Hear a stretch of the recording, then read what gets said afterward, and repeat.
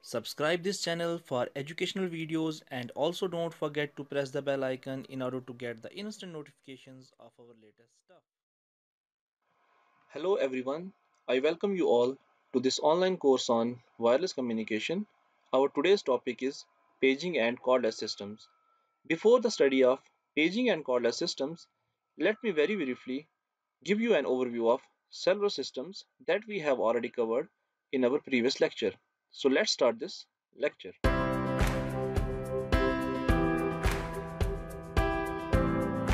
Overview of cellular systems. This diagram represents a typical cellular system.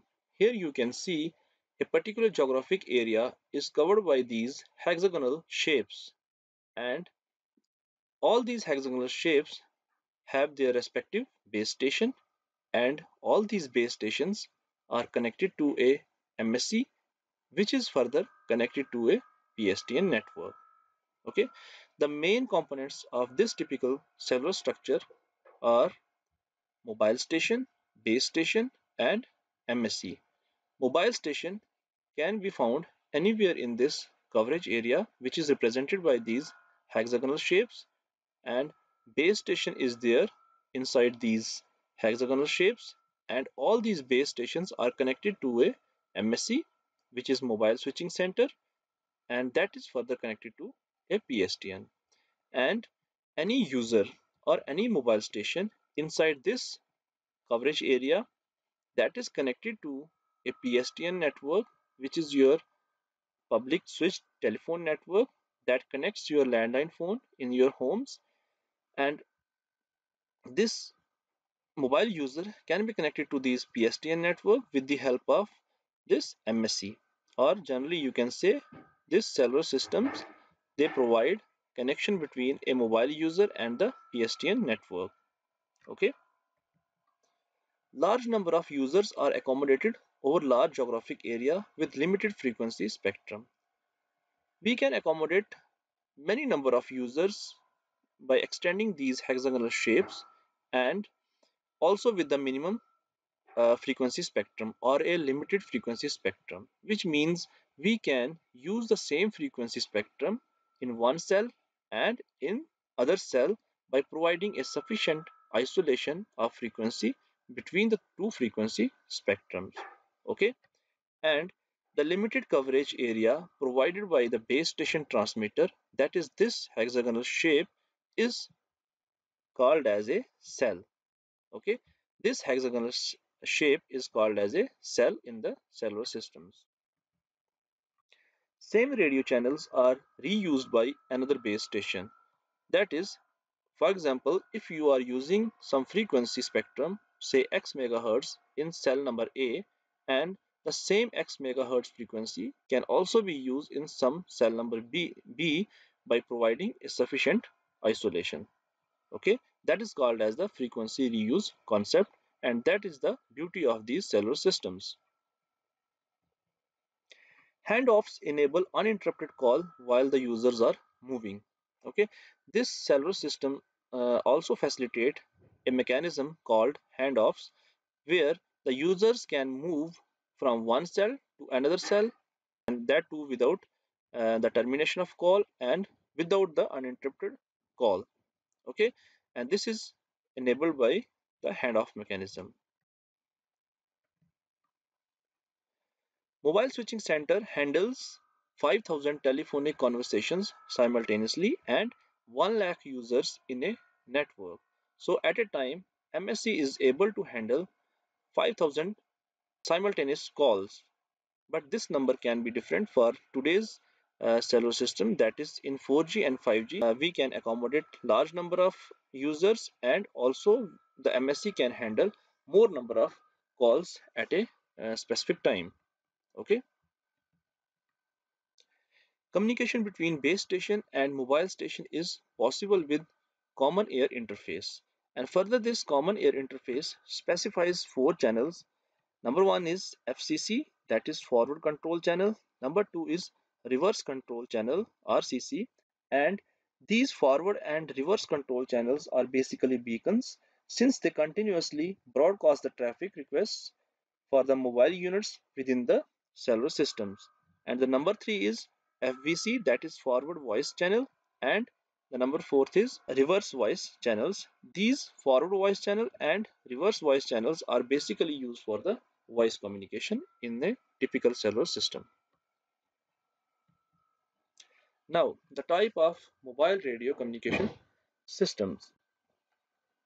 Generally, we have three types of uh, these mobile radio communication systems, and these are simplex communication systems, half duplex communication systems, and full duplex communication systems. In some simplex communication systems, you have only communication in one direction. That is, for example, you have your paging systems. In such communication systems, you just receive the messages, but you cannot acknowledge the messages. That is what we call as the simplex communication systems. In half duplex communication systems, you have a two-way communication but through the same channel. That is the same frequency spectrum is used for the communication and the example for the, these type of communication systems is push to talk and release to listen. In this case, you push the button of a particular device in order to uh, record your voice and then you release to listen the communication from the other side because the same communication channel or same frequency channel is being used uh, for the two-way communication. Okay? Then you have full duplex communication systems and these systems they allow two-way communication simultaneously with two different channels. For example you have your cordless systems. They provide you a full duplex communication simultaneously and the uh, technologies used for these uh, cordless systems are FDD and TDD that is frequency division duplexing and time division duplexing. Now in FDD two simplex channels with fixed and known frequency separation is used while when you are using FDD based systems for full duplex uh, communication there for the uplink and downlink traffic, you use two different simplex channels and these two channels are separated by a sufficient frequency band. And uh, the suggested uh, separation is 5% of the total radio frequency band. And these FDD based systems are used for the analog communication systems. Now TDD time division duplexing. Uh, here, a single radio channel is shared in time so that a portion of time is used to transmit from base station to the mobile station and remaining time is used to transmit from mobile to base station. And if the channel data transmission rate is higher than that of users and data rate, then user is provided with the appearance of full duplex. Okay. TDD is uh, further possible only for the digital formats and uh, that's why it is used for a smaller radio coverage. Now, paging systems. Paging systems are communication systems that are used for sending the brief messages. And uh, these brief messages may include uh, alphanumeric, numeric or voice messages. And uh, the modern examples of uh, our paging system are news headlines, and faxes uh, there you see uh, you get the news you get the instructions or you get uh, something new using these faxes and news headlines but you cannot acknowledge these uh, modern paging systems as well. So there is only one way communication in the paging systems. Paging systems are typically used to notify a subscriber about some situation. That is a subscriber is notified uh, to make a call to a particular person or the subscriber is notified to travel to a particular location for further instruction uh, because uh, this was uh, only one way communication and only a particular subscriber is notified with the help of these paging systems uh, by sending the messages. And in this uh, particular system the message is basically called as a page. And in the paging systems paging system access number is provided. That is a toll-free number and that is used to send a page. Uh, the subscribers uh, have to call that toll-free number and they record their message which is called as page and that message is further transmitted to a uh, particular subscriber. Okay? Depending upon the complexity of these paging systems and the coverage capacity of these uh, paging systems, they are further classified as simple paging systems and wide area paging systems. In simple paging systems, they have very limited range of uh, uh, their uh, coverage and uh, this range varies from 2 to 5 kilometers or it is confined to a particular building or a local area. Whereas the wide area uh, paging system they behave like a, a typical cellular system and they provide a worldwide coverage. Fine so we have two types of uh, paging systems depending upon the complexity and coverage. That is simple paging system and wide area paging system. Further, these paging systems uh, can be elaborated uh, with this diagram. You see here in this diagram, you have PSTN network and uh, this PSTN network is connected to the paging control center. And this paging control center is further connected to different uh, paging terminals in the different cities like in the city 1, in the city 2, city 3 and in the city N. And there are different paging terminals and this paging control center is connected to all these paging terminals. And each of these paging terminals they have their own base station. And the mobile user or the user with a device called pager that can move under the coverage area of these base stations okay? And this link this is uh, this link is uh, provided by the uh, satellites and this link is called as a satellite link link. And this paging uh, system facility can also be availed with the help of satellite link. Okay? This is a typical diagram of a paging, paging system.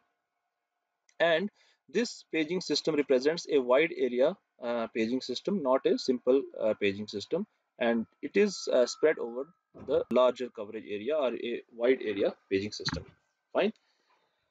These paging systems are simple and inexpensive as we have to send only messages uh, that can range from uh, voice messages to numeric or alphanumeric uh, messages. So these uh, doesn't cost uh, much infrastructure and uh, that's why they are simple and inexpensive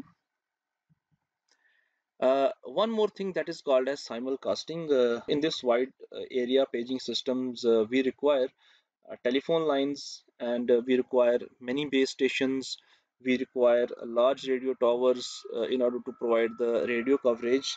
And if all these base stations they broadcast a particular page for a particular user simultaneously and that is called as the simulcasting. And uh, further uh, this paging system communication uh, can be considered as a reliable communication uh, because the message uh, delivery is considered to be more reliable as compared to the voice communication. And further uh, this type of communication also require large transmitters uh, to transmit large power in terms of kilowatts uh, because uh, the attenuation is uh, at a rate of 20 or 30 uh, decibels is expected uh, in these paging systems. And uh, low data rate is sufficient for the delivery of messages uh, that is that ranges from uh, some thousand bits per second uh, that is 6400 bits per second okay so this is all about the paging systems and now we will see the cordless system cordless telephone systems. These are full duplex communication systems that use radio to connect a portable handset. And each portable handset, that is your cordless phone, that is connected to a dedicated base station. And this base station is connected to a dedicated telephone line with a specific telephone number. Okay. And uh, these portable handsets, they can work only under the coverage area of a dedicated base station.